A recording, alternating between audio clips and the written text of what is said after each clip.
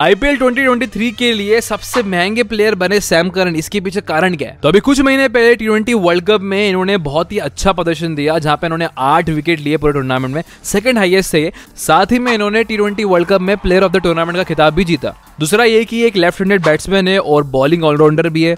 साथ ही में इनका जो आईपीएल का रिकॉर्ड रहा है सीएसके की तरफ़ से खेलते हुए, इन्होंने 32 मैचेस में 32 विकेट लिए हैं, तेईस इनिंग्स खेली हैं, तीन सौ सैंतीस रन बनाए और नो की इकोनॉमी से इन्होंने विकेट लिए साथ ही में इनका जो एवरेज रहा है एज अ बैट्समैन वो है रहा है ट्वेंटी और हमारे कैप्टन कुल एम एस धोनी कहते हैं कि अगर इनको ऊपर बैटिंग पे भेजा जाए तो ये अपनी बैटिंग से काफ़ी इंप्रेस कर सकते हैं सबको। साथ ही में टीम के लिए बढ़िया एसेट हो जाता है क्योंकि फील्डर के तौर पे भी काफ़ी अच्छा है यंग है एनर्जेटिक है। और बैटिंग के लिए आप इनको किसी भी पोजीशन पे भेज दो, एकदम एग्रेसिव खेलते और इनका स्ट्राइक रेट भी काफ़ी अच्छा है, जो कि वन का।